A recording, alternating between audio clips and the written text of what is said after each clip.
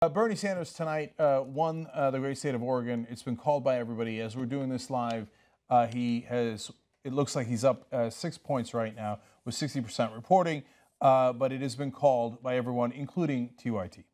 now, in terms of Kentucky, the Cenk Uygur rule is if it's within 0.5, if your person wins or loses, that is in reality a tie. I've been saying that from day one, literally from Iowa on. And and I said during that coverage, if uh, if Bernie wins by uh, 0.5, it's a tie. And uh, he wound up losing by 0.2 in, in Iowa, I believe.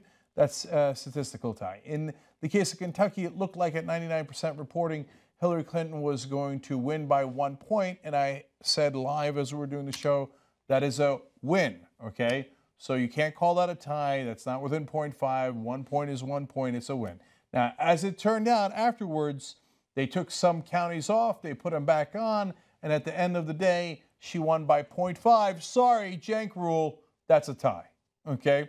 And so I'm not making it up afterwards. If you watch the live coverage, I know that uh, the whole coverage this time was just for members, but the members saw it, and you could become a member too, tytnetwork.com slash join if you're watching this in some other uh, place although that would be a little ironic, but I think we might put one or two clips up on YouTube. Anyways, okay, um, but get the whole thing when you can. And we uh, put up our coverage afterwards as well, so you can watch it on demand. Anyways, so uh, we got a tie in K- uh, Kentucky, and and we've got a win in, in, Oregon for Bernie Sanders. But if you want to call uh, Kentucky a small win for Hillary, I got you. I'm not sweating that detail, right? So realistically, uh, this is not nearly enough uh, delegates for Bernie Sanders. You got to keep it real on that. He needed to win 66% of the delegates going forward. He didn't win 66% in Oregon, the state that he won. He only won by six points, let alone in Kentucky, uh, where I just told you what happened, right? Uh, on the other hand, um, it's again, it would have been nice if Bernie Sanders had won by around one point in Kentucky because then he could make the argument I won in Indiana, I won in West Virginia, I won in Kentucky, I won in Oregon. My gosh, he's got no momentum whatsoever. Here, at least Hillary Clinton gets to say, well, I won, you know, that state. And by the way, as we've been saying throughout, she's won many states before that, right? So I think in terms of optics, she at least got, uh, she could breathe a sigh of relief on being able to say she won Kentucky tonight.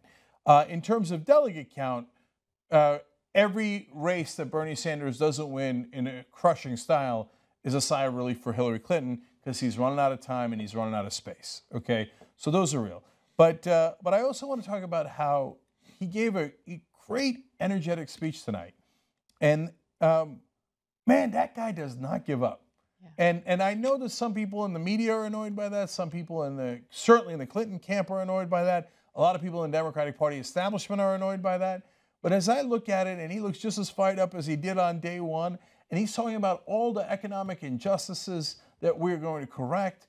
He gets uh, specific details of how we're going to do criminal justice reform, and we're going to liberate people uh, in just in every way imaginable. And here on the show, we were talking about how, my God, imagine if he uh, stopped imprisoning hundreds of thousands of people who were just in there on marijuana charges. Forget the guys who are already in prison. If he just stopped arresting people for marijuana possession and all the economic good that could do, let alone the freedom that it brings. And that's one of dozens of issues he talked about tonight. And the crowd was roaring as always. Okay, so let me jump in because I love that you pivoted to a speech because I think that's important. So you mentioned the reality of the numbers and, you know, look, there's still a small possibility that he can win the nomination, but we got to keep it real, right? It's becoming increasingly difficult for him to do so, especially since he needed to win at least 65 uh, percent uh, of the vote moving forward, and unfortunately, that didn't happen in Kentucky tonight. Um, but I will say this. Uh, it's important for him to stay in the race, regardless of what the establishment says, regardless of the fear mongering you hear from the Hillary campaign, indicating that if he doesn't drop off uh, or drop out, Trump's going to win, he's helping Trump, whatever. All that stuff should be brushed to the side because right now, what Bernie Sanders is providing is a voice for the disenfranchised and for the poor. You don't hear lengthy speeches where politicians are specifically mentioning these individuals and how they want to help them, specifically raising awareness about issues like income inequality, political corruption, climate change, prescription drug manufacturers taking advantage of us. These are issues that we should be educated about through our media, but we don't even get that for the most part, right? Of Yep. course, with independent media, you get that. Um, but I love that, you know, he has a voice. He's getting through to people, and what he's providing for those who have been disenfranchised is so much more valuable than anything else that could come out of this election. He even talks about Native Americans when there's almost no votes to get there, Yeah. right? But he doesn't talk about it because he cares about the votes. He talks about it because he cares about the justice of being able to serve that community. That's why you never hear any other politician talking about it. They're like, "What's in it for me?" Native Americans are don't vote enough for me, right? Well, but only- it's not about him. His slogan isn't "I'm with him." Yeah. The only other politician who brings up Native Americans is Donald Trump, and only to attack Elizabeth Warren's ancestry. That's um, right. So look, the, the numbers the numbers don't look good. Obviously, like somebody tweeted me earlier today, like, "Oh, it makes me sad that that they seem to be losing hope." And I get what you're saying. I, I personally believe, and this is this is just me because I, I strive to be a robot. I have hope is like an emotional state that I have in the absence of information, and gradually, as I gather information, I replace the emotion with facts. Um, but that doesn't change that. Obviously, still support him. Loved his speech, and there is still a path. It's not necessarily a delegate path, although that's not impossible. It's ex- it's just extremely unlikely. Um, we're going to talk about the numbers soon. Even in California, it's not looking it's not looking great, and he has to destroy in California. Um, but it's still not impossible. And in and in two months, when they're at that convention, look, Trump is not going to become drastically more popular because as he talks more, people people hate him. He's a crazy person. But neither is Hillary. I, I don't see her drastically raising her favorables with the population, especially with the way that we know she's going to campaign. It's 100% anti-populist, especially in comparison to Donald Trump. And so that combined with the way Bernie is already polling, and I saw on CNN they're messing with the map and they're trying to figure out how to get to 270 for everybody. Like, forget all of those manipulations. Bernie Sanders, we saw today, is beating beating Trump in Georgia. You could blow that entire map away with Bernie Sanders. And the lie that he hasn't been attacked, he's already been criticized in the most disingenuous and ridiculous ways on a daily basis for months now. He's the guy. He's the guy that can beat Trump. He's the guy that can easily win the presidency. So Johnny Pie has a lot of nicknames, but we might have to add Spock to them. Spock Iadarola. For this sentence alone, I wrote it down. Hope is an emotional state in the absence of information. Wow, that was very eloquent. Yes, but it's also kind of creepy in, in how It's not creep- robotic it is. Oh, Yeah, and totally. and most people would be like, you should have both, and that's why my therapist criticized me for like express your emotions, man. I get that, but See, he is Spock. You have a therapist? He- well, this is back in the this is back in the day. okay, all right. Well, it, it largely worked. It didn't stick. Hold on, but let me respond a little bit to that because like we we do get it from, you know, avid Bernie supporters. And here's the thing. We're not here to lie to you guys to make you feel get better. We're here to tell you the truth, okay? And honestly, some of the truth sucks, and it sucks for us. And a lot of times, I've left uh, the show feeling very deflated and terrible that you know the the the primaries didn't work out as well as they should have for Bernie Sanders. At the same time, I'm not going to feed you guys misinformation to make you feel better. And if that offends you, well, you're going to be offended a lot because Yeah. It's the just the, way it mainstream goes. media lies to you. Yeah. You're, you, like everybody says that they like us because we're real. Yeah. Right. That's what real is. It doesn't just mean real when it's cool or real when it's fun. It's real when it kind of sucks. But Yeah. the, the the suck isn't the end. There's stuff after the suck. Yeah. Yes, and and so you, you don't just get to keep it real when it's convenient, Yeah. right? Uh, that's uh, not what it means. But I, I'm kind of I'm a half full guy, right? So uh, hope for me is an emotional state in the abundance of information.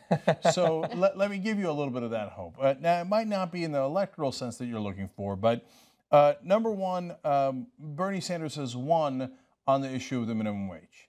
Before we were having a conversation of whether it should be go from 725 to like, oh my God, nine dollars. People were flirting with. Somebody said 10. It was like, wow, that was just like two years ago, right? Now he's he moved the goalpost all the way to 15. Then Hillary Clinton had to try to catch up and get, and she got to 12. And then just about a month ago, she's bragging in New York when they passed it at 15, as if she had the idea for 15 million, uh, $15 minimum wage. No, no, no, no. Bernie Sanders had that idea, and even if he loses electorally, He won on that policy. And remember with Bernie Sanders, I, when I interviewed him here on the Young Turks, and I asked him, "Hey, in the in the, in the situation where you don't win, what is it that you want?" And he immediately gave a list of policies that he wanted. There was no talk of like, "Hey, maybe I could be VP." There's a cabinet. I know that he wouldn't, like any reasonable politician, wouldn't say, "All right, I'll take Secretary of, you know, uh, Treasury, and we'll call it a day." Of course not. But they would have intimated it and their answer would have been around that rather than around, here are the policies I want for the American people, right? Which is what he listed. And he already got one of them in terms of the minimum wage in all those different cities that he listed in his speech today, right? In Seattle, LA, uh, New York, and all these different places, it is already $15. Yeah. He's already won, right? And that's just uh, getting warmed up. In my lifetime, I was telling these guys as we're doing the show live, um, I, I, I never saw a politician say that the business model of Wall Street is fraud. Yeah. And we should we shouldn't negotiate with the banks. We shouldn't regulate the big banks as they are today. We should break up the big banks. That is amazing. And now you've got Hillary Clinton taking $15 million just in the last quarter from the big banks, as uh, again Senator Sanders pointed out uh, tonight in his speech at least pretending that, oh, I'd break up the big banks too. I mean, if the situation was right, I'd break them up. Even though money doesn't affect politics and it's totally fine and they're cool. Uh, of course. He moved the conversation. And, uh, and by the way, right now, all that talk of like he's got to get out, he's hurting Hillary. No, you don't get it, you schmucks. CNN just ran, uh, even CNN, now that Donald Trump uh, doesn't have his empty podium anymore since he's already won, they ran about half an hour at least of Bernie Sanders' speech that's free media for the Democratic Party. Yeah. And in most of that speech, he attacked Donald Trump. You've got a situation here where it's two against one in attacking Donald Trump. That's not a bad thing. That's a great thing, right? And then finally, uh, you want to talk about winning? He's won the future. He, he wins in every demographic under the age of 45. I know what the mainstream media say. They say, oh, those young kids, they'll get jaded just like we did. Uh, and then they'll uh, give up all these dreams and hopes of revolution and making things better. things don't get better, okay? Mm-hmm. They'll learn how to swallow that bitter pill like we did, right? I don't think so. Yeah, and it's not just the bitter pill, Cenk. What what they fail to understand two things that are different about our generation compared to older generations.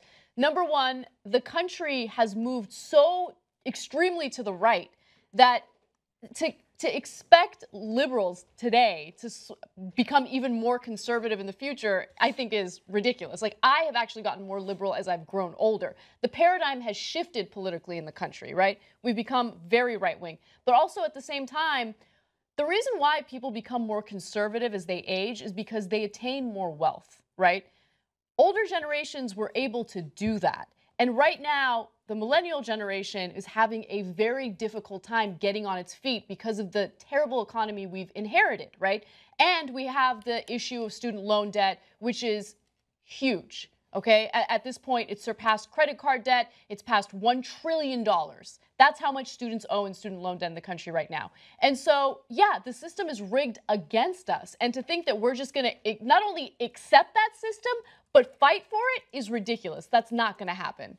Yeah, so I think they have a fundamental miscalculation. So when Anna says the country has moved right, what we mean is that the political establishment has moved right. So a lot of Barack Obama's positions today are actually way to the right of Ronald Reagan's positions.